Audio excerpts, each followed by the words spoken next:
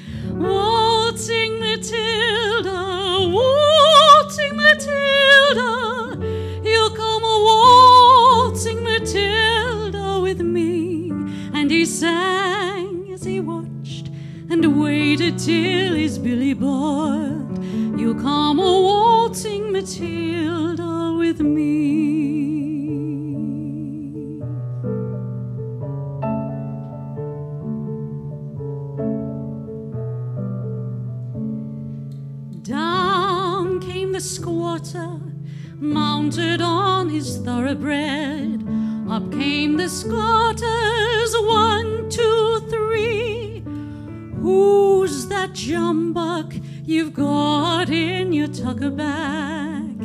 You'll come a waltzing Matilda with me.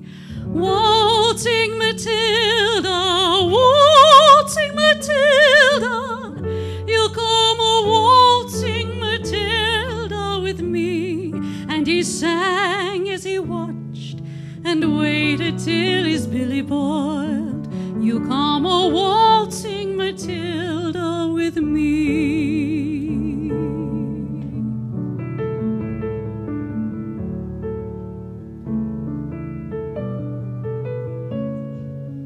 Up jumped that swagman and sprang into the billabong. You'll never catch me alive, said he, and his ghost may be heard as you pass by that billabong. You'll come a waltzing Matilda with me. Waltzing Matilda, waltzing Matilda, you'll come a waltzing Matilda with me. And he sang as he watched and waited till his billy boiled. You come a waltzing with me. You come a waltzing Matilda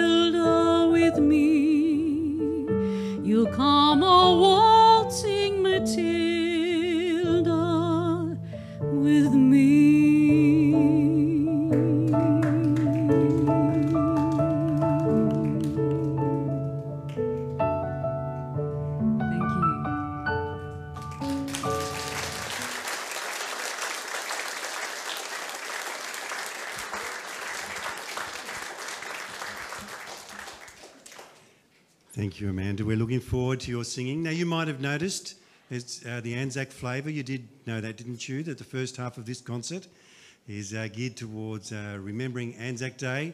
In the second half of the concert, we're going to focus on the Easter message. It's one of the things I love about Australia. There's some things I get cross about sometimes. But one of the things I love is that Anzac Day is uh, a time when we remember war by celebrating a defeat. And we cele- celebrating really what was a pointless defeat in a battle. And uh, what we celebrate is that idea of resilience and of courage and of sacrifice. And our idea of sacrifice that ties in so well with us for Easter, doesn't it? So when we sing these songs that remind us of uh, the times of war, terrible times of war, I can't help but think of the Ukraine right now. I, I don't think we can speak glibly of war, can we? When in this time, in this internet age, we see um, courage and we see agony and we see sacrifice and we see bravery, and we see the hurt that's going on in the world. So I know you get what I mean that we don't celebrate war, but we do celebrate courage and sacrifice, uh, don't we? And that's what we uh, want to remember today and focus on the Australian spirit as well and sing that strange Australiana song about a shepherd who jumps into a billabong. We don't know what it means, but somehow it represents Australia, doesn't it? Waltzing Matilda. Well, we're going to uh, play a march called The Spirit uh, of Endeavour. And this is by one of the Salvation Army's great writer of marches, a, a man called uh, Norman Bearcroft. So I hope you enjoy this.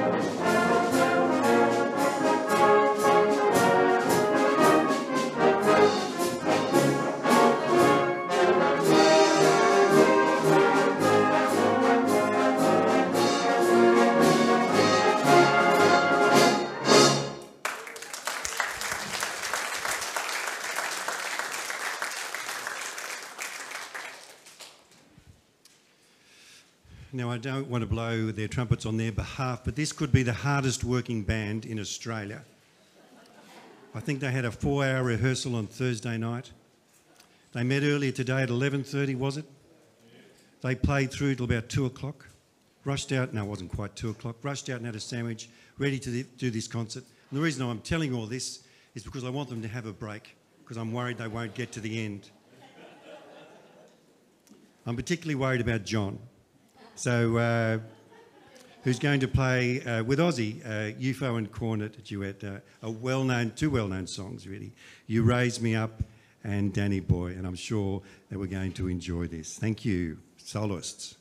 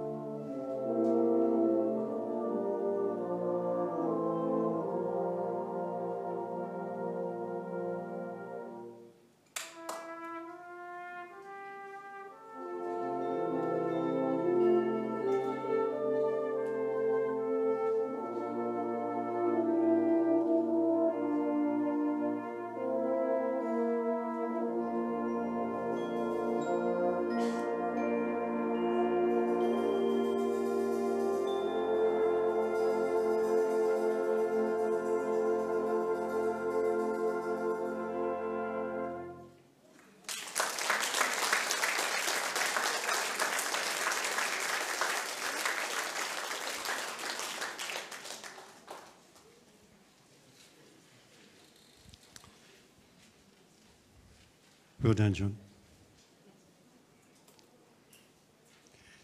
That's great, wasn't it? Some well known tunes, beautifully played, and we appreciated that. Well, now uh, Julie is going to come and share her story. And um, I've heard that you have a fantastic testimony to tell, so I'm looking forward to this. Thank you. Well, as you know, I haven't been in the army that long. So I've come to tell you all about the time that I have been in the army. On the microphone? Can, oh, is that close? Okay. Good afternoon. My name is Julie, and this is my first year as a sal- Salvationist. I first joined the Salvation Army because of what I saw and what it stood for. I saw a spiritual blessings upon others and saw things that I noticed not everybody else sees. It involved the recognition of a feeling, a sense, or belief that there is something greater than oneself, something more to being human than sensory experience, and that the greater whole of which we are a part of is divine in nature. The founders sought to bring salvation to the poor, destitute, and hungry by meeting their physical and spiritual needs. The side of the army I have not yet encountered, but I do see a so called need arising in my daily living from time to time and know how I am to address it. Before taking on the role of a soldier, I asked the question How do you know if you are spiritual? I felt if I could feel the Spirit, believe in the Spirit, dream the Spirit, and feel a shift of becoming more of a whole person, then I thought that was a good starting point. I haven't learnt people, I've learnt people give to the Lord in many different, different ways. You give what you can when you can. Music plays an important role in my life. The emotional power of music, rightfully employed, is a virtual and moving aid to worship. The people of God sing. The role of music in worship is biblical. After escaping from the Egyptians and crossing the Red Sea, the people of Israel sang a song to the Lord, according to Exodus 15. The Psalms bear rich testimony that in joy and sorrow, in praise and lament, the faithful raise their voices in song to God. This is my first Easter as a soldier of the Salvation Army. The message of Easter is the message of God's love for the world. Let us honour the day Jesus rose from the dead. Let us pray. Dear Lord Jesus, we worship you as we remember the moment when your love conquered, when out of the cave of sorrow, Jesus arose to release the forgiveness to the world. And each time we encountered this resurrection day, we again lift to an eternal place. Our sin, brokenness, and darkness fall away, and your light and peace flood our lives. Thank you, Lord, for this incredible celebration we call Easter. Amen. Thank you. Thank you for sharing that. We appreciated that. I wish we could follow that up with a suitable piece, and I'll, you'll have to make uh, the judgment on whether this is appropriate because the next piece is called Grooving Matilda. So uh, it's a swing version, of course, so you make the connections. I'll leave that to you.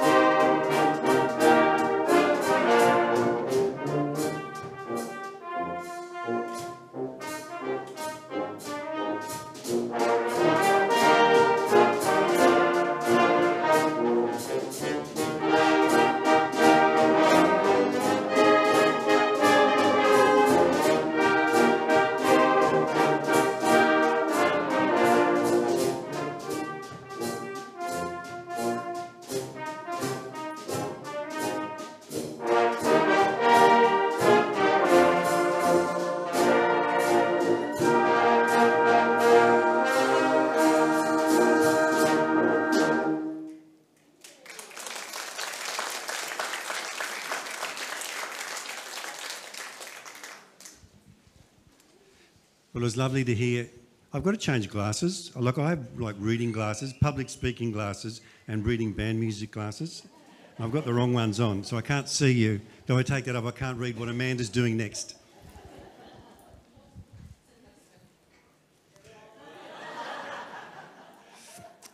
Amanda, we enjoyed your first song. We're going to enjoy this one as well. So, uh, Amanda's going to come and sing We Are Australian, an appropriate way to finish this segment. Thank you.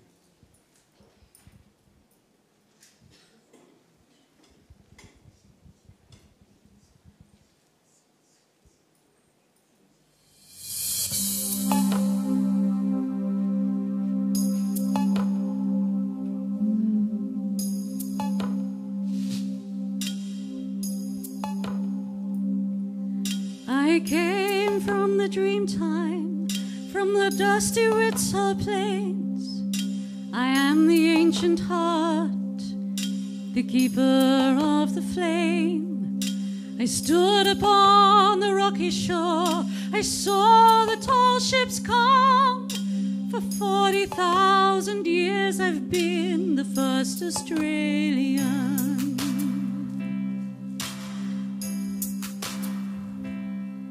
I'm the daughter of a digger who sought the mother.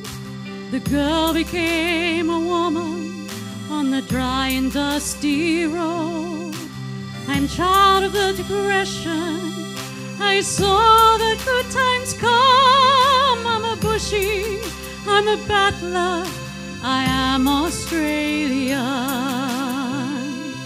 We are one but we are many, and from all the lands on earth we come. We share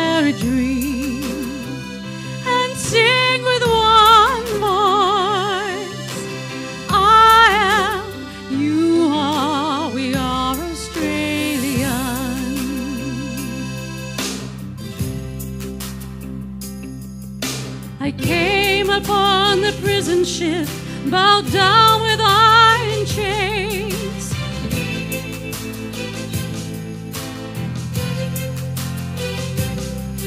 I'm a battler, I'm a farmer's wife on a dry and barren run. A convict, then a free man. I am Australia.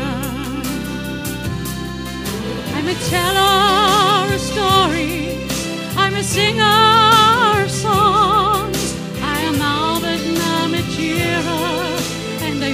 the ghostly guns. I'm Clancy on his horse. I'm Ned Kelly on the run. I'm the ghost that waltzed Matilda. I am Australian. We are one but we are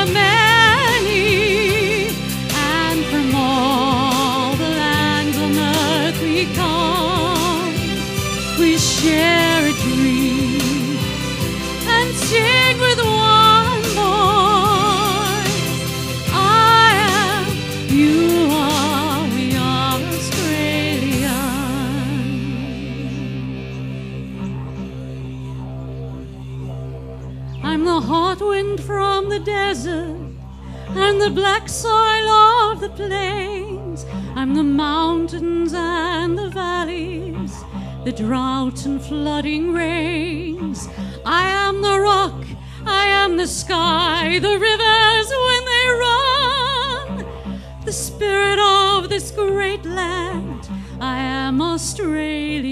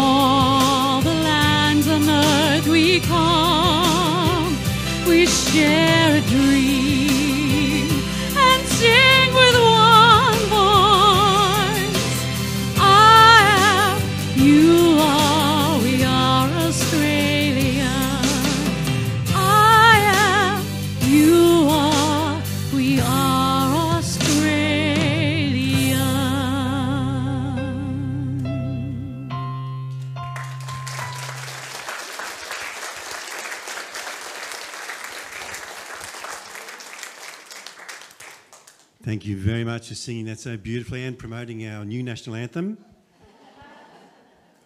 I know some of you want it to be true, don't you? Um, now, that concludes the first half of our uh, concert. How long is the interval? 10 minutes. 10 minutes. If you hear the band playing Easter morning, a march and medley, and you're not in your seat, you'll know that you're late. All right? so you've got 10 minutes to greet your friends and uh, just relax and stretch, and we'll be back soon.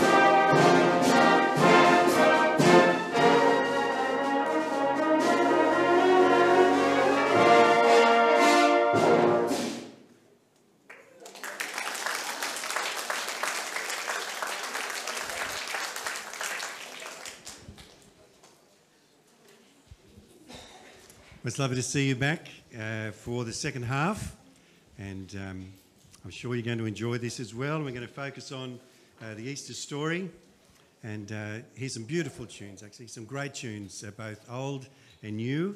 And uh, we're going to hear uh, Amanda sing again. She's going to come in just a moment. Before she does, Keith wanted to, me to mention that we have three of the members of the Limmer family. Is it Moses and Appy and Jesse? Where are they? Would you like to stand up? I think you need a special mention.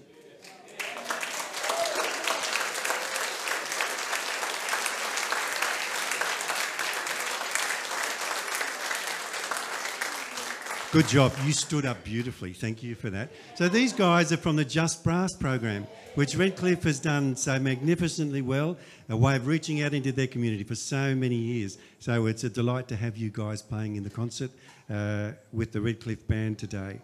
It's lovely to see you here. Uh, I don't know if you know this Easter song, The Power of the Cross. It's an, it's an Easter anthem, really, I think. Is that fair enough to describe it as an anthem, you think? I'm really hoping you're going to, go big on this one, Amanda. You're going to go big? Because I think you've just been toying with us though so far, right? We want to hear the full power of this because the song is called The Power of the Cross. And it's a great Easter song. It's a great Easter song. So I hope you enjoy this as Amanda comes to sing to us.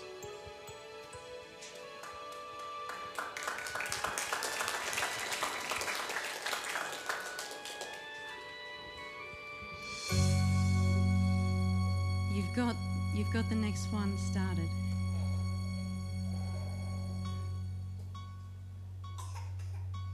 You need to press stop. Oh, not quite. Oh, cool bananas. Thank you.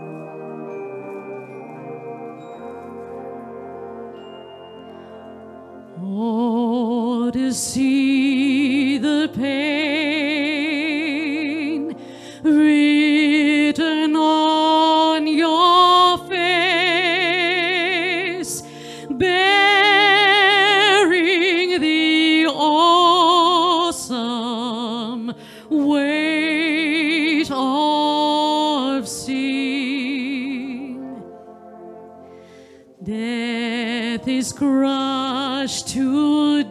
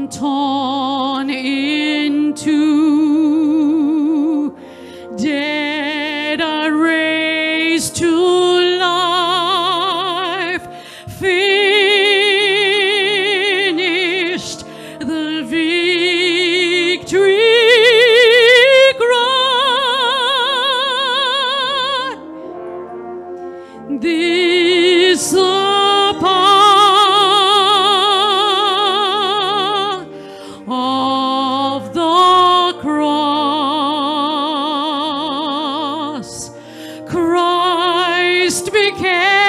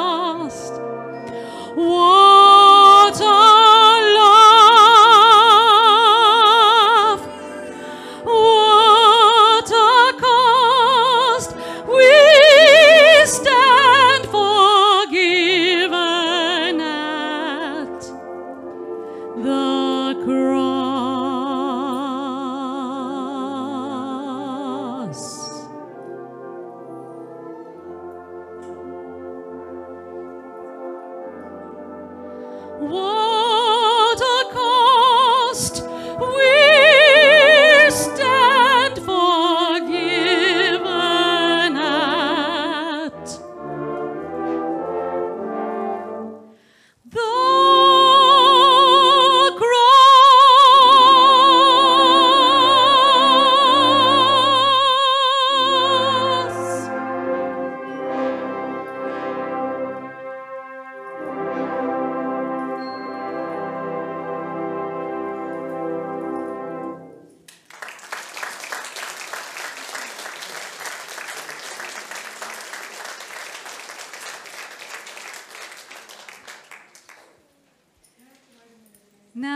next one, this next one is an Easter Sunday.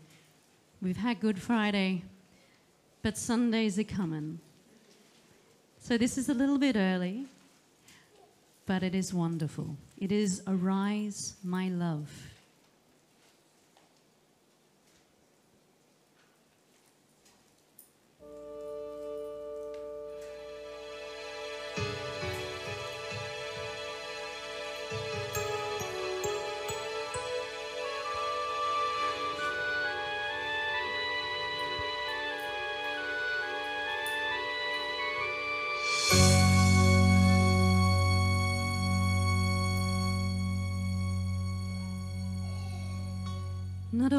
Was heard at the tomb that day, just shuffling soldiers' feet as they guarded the grave. One day, two days, three days had passed. Could it be that Jesus breathed his last? Could it be that his father had forsaken him? Turned his back on his son, despising our sin. All hell seemed to whisper, just forget him, he's dead.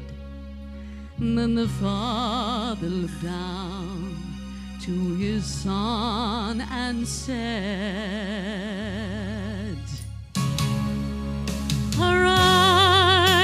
my love, arise, my love. The grave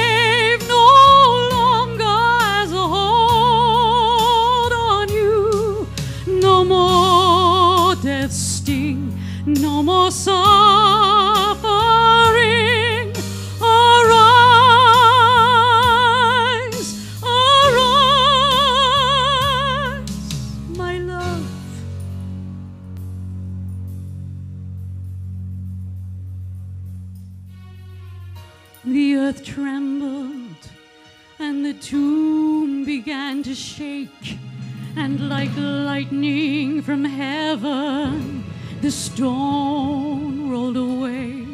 And as dead men, the gods stood there in fright as the power of love displayed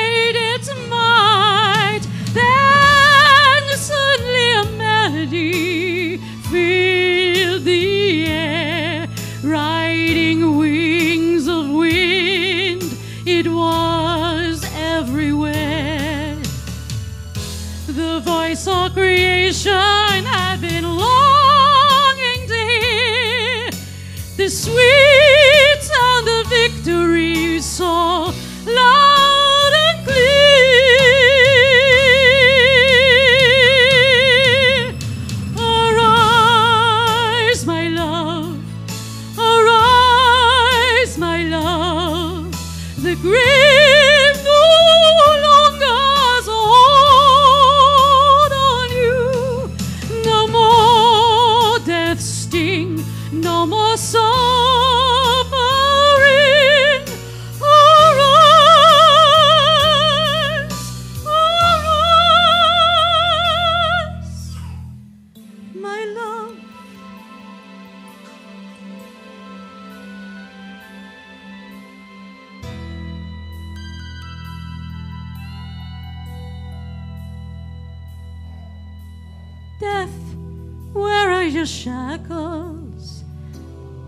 Death, where is your sting? Hell has been defeated. The grave could not hold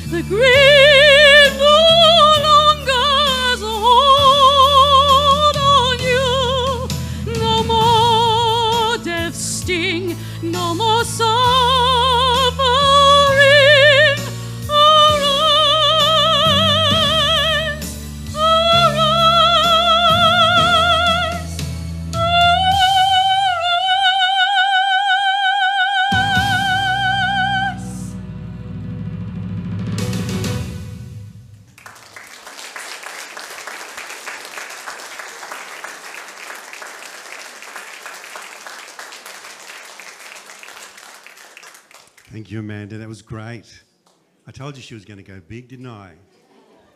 And I have found the song that I'm going to sing to Sharon in the mornings as well.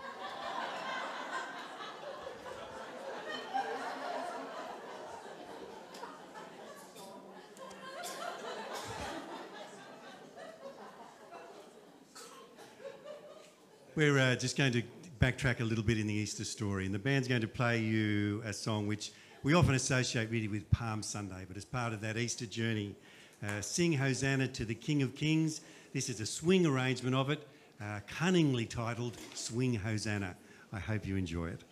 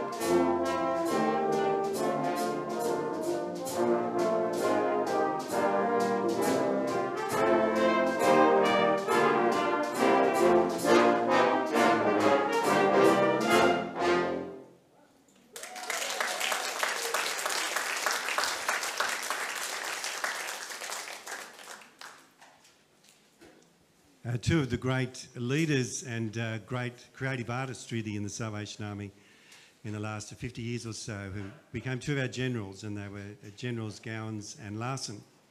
And um, tragically, both for our, from our point of view, both have gone to be with their Lord, really. But they're creative spirits, and they wrote and contributed some beautiful songs to the Salvation Army uh, song literature. And uh, this is a lovely, lovely song. His love remains the same. Lots of you will know it.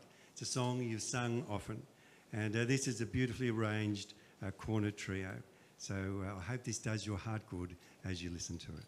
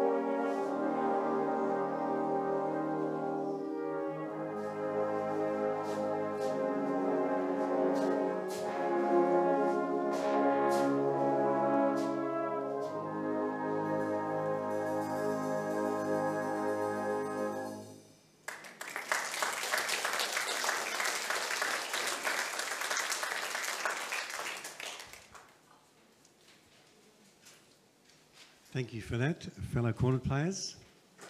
It's a lovely tune. We appreciated your playing. So Amanda's going to come and sing to us for the last time, and uh, we have appreciated you uh, offering us your gift of singing, and it's meant a great deal to us, Amanda. And she's going to come and sing uh, kind of a recent addition to our hymns, I think. Worthy is the Lamb. It's a beautiful song that, uh, that honours God and honours our Lord and Saviour Jesus Christ. And uh, we're going to worship together as Amanda sings for us.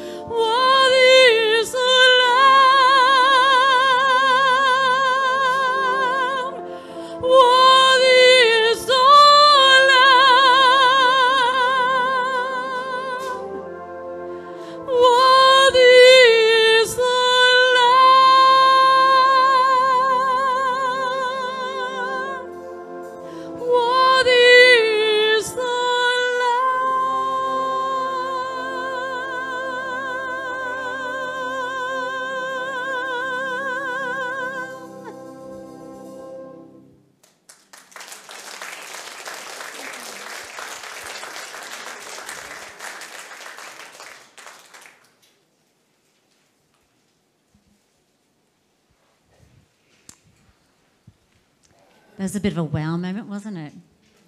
I feel like I just need to pause for a moment. Well, you're having a good afternoon.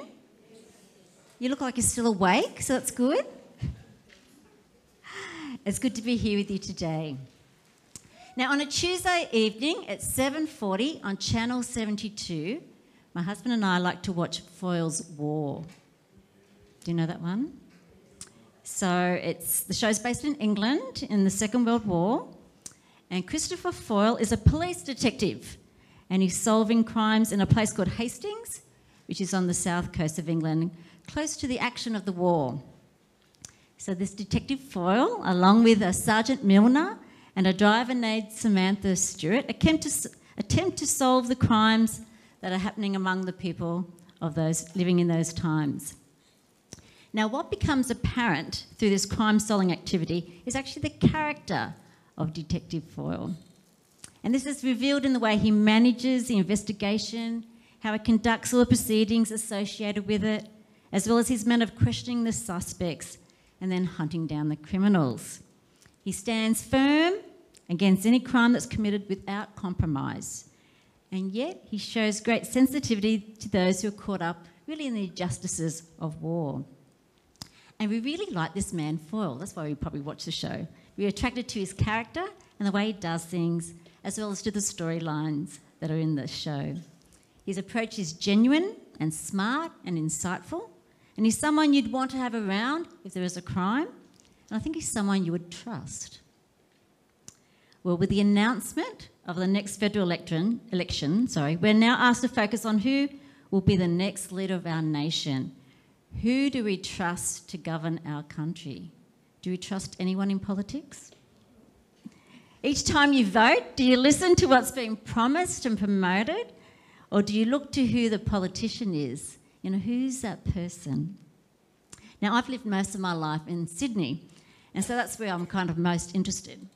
And I actually lived in Willoughby for quite a few years, and so I love Gladys Berejiklian. I don't know if you do, but she's one of my favourites, okay? And I was devastated when she resigned. And I think a lot of people around the lower North Shore in Sydney were also devastated. Now, I'd actually got to meet her in person. She actually helped collect for the Red Shield Appeal in the area. She used to collect in her local area, in just the few streets around she lived. And um, she was actually someone that many people in our community met. So she turned up at my girls' high school, Willoughby Girls. She came to the netball club we were part of, Willoughby United. But she turned up a lot of things in the community. She was constantly seen in and around, and so people actually got to meet her and to know her, and sometimes even catch the bus with her. She was Transport Minister. Um, the people who knew her from being such a presence in and around the Willoughby area, as well as her roles, I think, in government, meant she was still loved and respected by many people, even when resigned. And I think so many still deemed her a value, valuable asset, even the Liberal Party. Well, around 2,000 years ago, a man lived in Palestine who was sentenced to death on a cross. Now, many other men had suffered the same fate, but this was different. Some of the things he said and did may have been radical in his life, but the way that he lived shows something exempt, exceptional in his character. People came to trust him with their lives, so much that they left everything behind to follow him. He held no position of responsibility, and yet people listened to his words. He held no seat of power, and yet he changed every community he visited and every household he entered. Jesus from the town of Nazareth became someone well known for his deeds and his teaching, and then even better known for his death and what it meant for humanity. See, Easter is the perfect, perfect time for us to think about how we view Jesus. When we look at who he is, what do we see? When we read about his ministry, what do we learn? When we consider the conditions that led to his execution, what do we notice? When we look at the cross on which he died, what do we feel? What do we recognize in his character? What do we see in his devotion, his commitment, his incredible act of sacrifice? And why is this important to us that we should know who he is? See, the band is about to play a piece entitled Light of the World. And the words associated with the key tune in this piece refers to a scripture passage. And this is, in this scripture passage, Jesus is depicted as knocking on a door. He's knocking on the door of our lives, wanting to come in, wanting to dine with us. He's wanting to be our Saviour, wanting to be present with us throughout life's journey. But the big question is will we let him in? And I think this is why we must ask this question who is Jesus? That we would want to let him in. What kind of a person is he? What do we know about his character that we would trust him with our lives? Do we consider him someone worthy to follow? Is he someone who could govern our lives well? Do we believe in his justice, his truth, his way of protecting the vulnerable in society? Is he someone that we would want around? See, this Easter, there is a moment for us to consider who Jesus is the one who stands at the door knocking, the one who patiently waits for us to answer, the one who fervently and faithfully hopes that we will open our lives to his love, his grace, and his truth. So this Easter, look again at the cross, celebrate again in the resurrection, and once again invite Jesus into your life. Trust Jesus to be your Saviour, your Lord and friend. Enjoy this piece together. Thank you, band.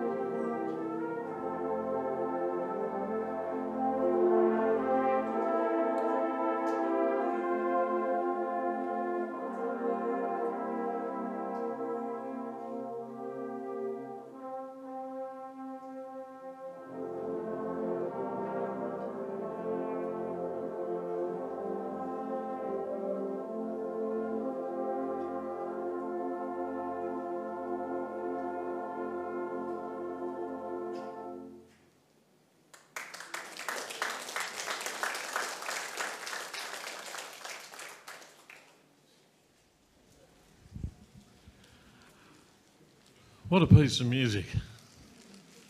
It hardly seems the right thing to do other than uh, just all sit quietly after something like that. It's uh, oh, amazing piece of music. It's my favourite, actually, out of all the army songs and army uh, pieces. And uh, we will move on.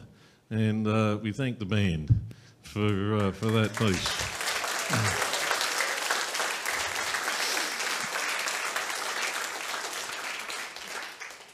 Amanda, front and centre. We might come down to you. We have a little something for you.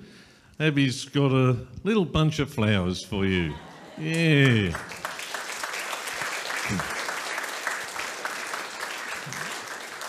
And that goes with it, just so that you can get home. Petrol prices are going up, aren't they? Okay, but on behalf of the Corps, we really do appreciate you coming all that way from the Gold Coast. Oh, thank you very much.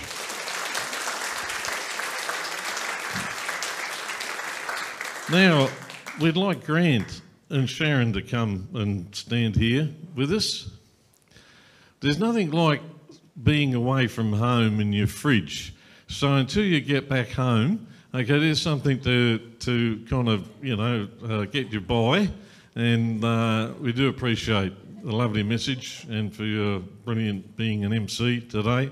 Um, I've looked up to this man over the years, especially. Um, I've never really got to know Sharon, uh, other than when you went to Chatswood Corps and we used to bump into each other occasionally. But, uh, but in banding in the Salvation Army, there's some names that uh, stand out. And I can remember being in a congress when Grant played a solo, and uh, and he was big on playing solos. He was the Salvation Army's representative, uh, our Eastern Territory, at uh, Star Lake in in America. And can you remember back in those days? I remember the solo, but I didn't go to Star Lake. Oh, you didn't go to Star Lake. I've got a picture. I've got a picture. wasn't good enough. Ah, I've got a picture of uh, you standing next to some very um, famous Salvation Army cornet players. So where was that? Was it da- That was Cobham Hall Music School in. Cobham Hall Music School in England? There we go. He didn't go to America. He went to England. That's even better. Ah, gee whiz. I was tempted to get him to play uh, Tucker or something like that uh, this weekend, but uh, we really invited you all to come and hear your ministry devotionally. And we've enjoyed the uh, series that we've been working through, haven't we? Yep, yep. So let's greet our, our guests and thank you very much for today.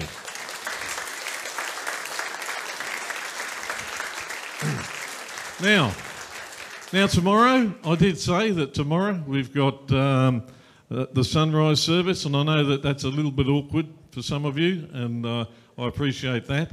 I hope the band can be there because you're playing, and um, I don't think it's the floral dance. Um, it's uh, more up from the gravy arose stuff, but uh, but hands up those who've been to a sunrise service over the years. It's something special, isn't it? And uh, so if you are able to come and join us in the morning, uh, we'll be there about five o'clock to get set up. So don't feel that you know you can't be early to help, and uh, we do appreciate appreciate that. And ten o'clock here, uh, back at our service for for our Easter Sunday meeting, which I'm sure is going to be a blessing for us all. So thank you, Aussie. Thank you for all your preparation and for the band and for our friends of uh, our Corps who've come especially. I'd like to conclude now. I'm a little bit not so emotional with a prayer. Let's pray. Our loving Father, we thank you for such a wonderful afternoon. Lord, so many types of music, so many words that have uh, come and reverberated through our hearts and our souls. And Lord, we thank you for the message of light of the world. Lord, we thank you that you are the light of the world. We thank you that we can open up our hearts when you knock on the door of our hearts and uh, ask you to come in and be our Saviour. So we look forward to tomorrow. Uh, Good Friday is a special day, and so is Easter Sunday. And Lord, we thank you that we can come and worship you uh, freely and we look forward to that tomorrow. We ask these things in Jesus' precious name, we pray. Amen. And thank you for coming.